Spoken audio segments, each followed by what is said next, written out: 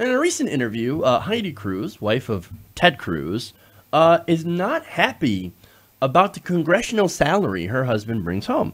Uh, in an interview with The Atlantic, Cruz basically complained that her husband's Senate career has meant that he's been stuck making less than $200,000 a year for the past uh, seven years, which apparently is putting more pressure on her to bring in the money.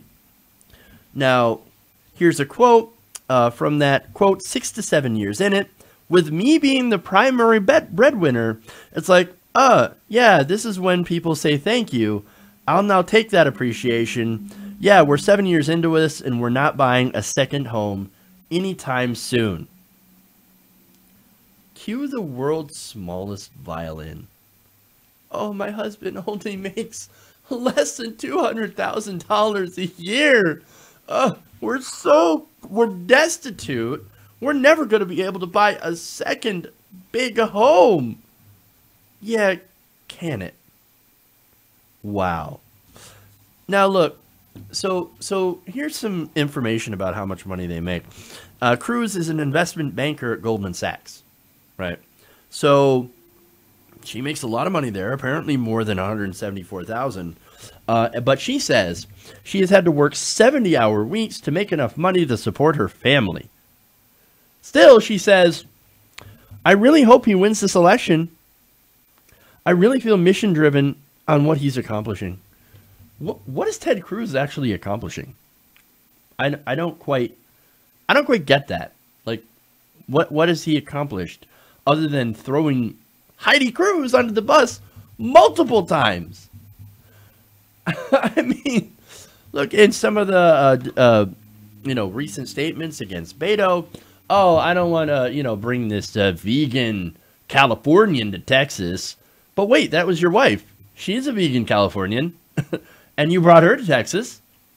That's a little weird. But also, um, when Trump, uh, when he was running against Trump in the primaries, Trump saying, "Oh, the picture's worth a thousand words," and they had a com- uh, comparison picture between Heidi uh, and Melania, basically saying, "Girl's ugly," and uh, Ted Cruz still.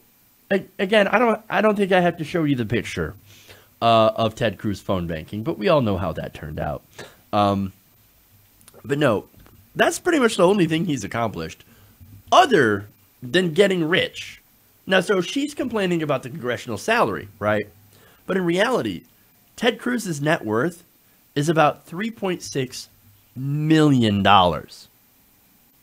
This is according to an analysis of personal financial disclosures that the family has filed with the U.S. Senate.